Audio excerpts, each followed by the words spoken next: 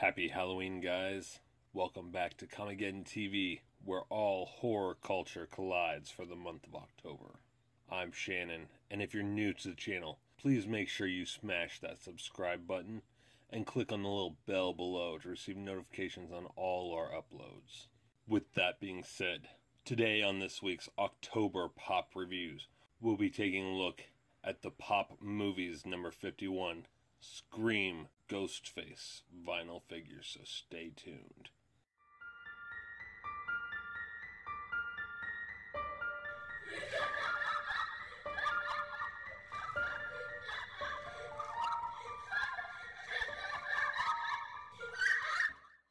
As I said, this is the Pop Movies number 51 Scream Ghostface vinyl figure. The original in the Scream film franchise, just simply titled Scream, was written by Kevin Williamson and directed by Wes Craven.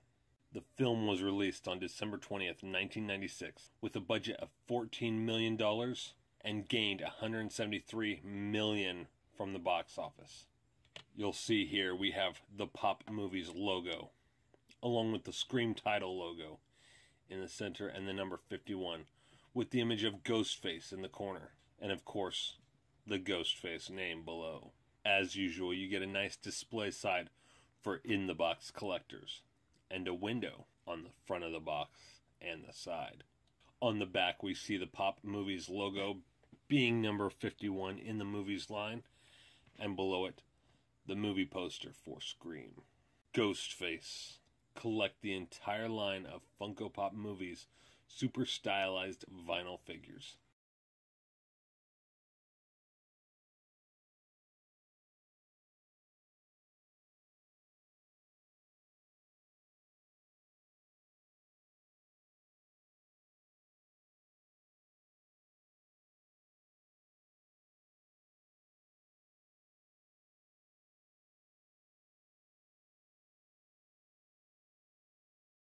Opening the box, we get a nicely designed Ghostface vinyl figure.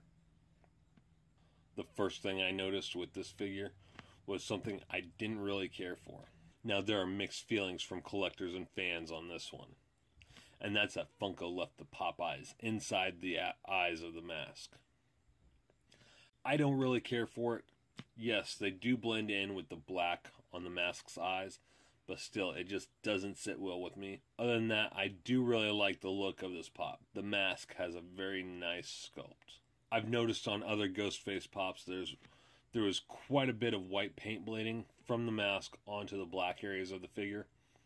However, that doesn't really seem to be the case here. As the paint seems to be incredibly crisp. In the box, it did look as if his waist could move where his sash is, but sadly, sticking with Funko Pop tradition, only the head moves. It is, however, hindered when you move it in the direction of his knife wielding hand, as the mouth of his mask does hit against his wrist, but it does turn all the way around the other way. This is a pure black figure, and only the face is painted with white. As you see, he is wielding a nice blood covered hunting knife, ready to make another call. It does look like the fringes of the costume are actually a part of the sculpt rather than being added later. The cuts at the bottom of his costume are very nicely cut. They did take an immense amount of time with the detail on this pop. I really like the look of the boots too. I actually had a pair of boots exactly like that when this film came out way back in 96. One of the nicest features on this pop is the little tuft of cloth at the top of his hood very similar to Deadpool. Very nice. Overall, there were a total of seven killers throughout the film franchise, with the first two being Billy Loomis and Stu Macher, played by Skeet Ulrich and Matthew Lillard. Then in Scream 2, we had Billy's mom, Mrs. Loomis, who disguised herself as a reporter named Debbie Salt, and Timothy Olyphant, who played Mickey.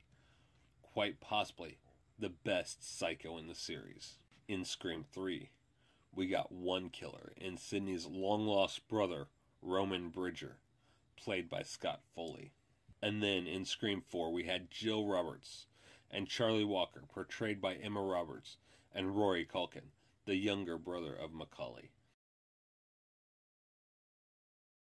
In a bit of movie trivia, Matthew Lillard stated in a 2009 interview that he was contracted to reprise his role as Stu from the first film. As the primary antagonist, having survived his supposed death in the first film and orchestrating new attacks from prison on high school students, and once again targeting Sidney. However, due to the Columbine High School massacre of April 20th, 1999, the original plot was scrapped shortly before production began. So there you have it, guys on this week's special Haunted October edition of Pop Review, the Pop Movies number 51 Scream Ghostface vinyl figure. Have a happy and safe October, guys.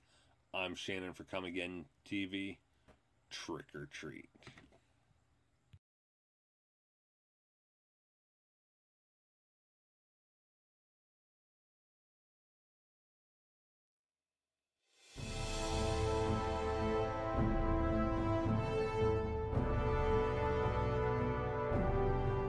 Hey guys, if you like this video, make sure you smash that subscribe button and click on the little bell to receive notifications on all our upcoming videos. Hit the like button, make sure and leave us a comment so we know how you felt about this video. And don't forget to share with your family and friends. Until next time, I'm Shannon for Comicgeddon, where all geek culture collides.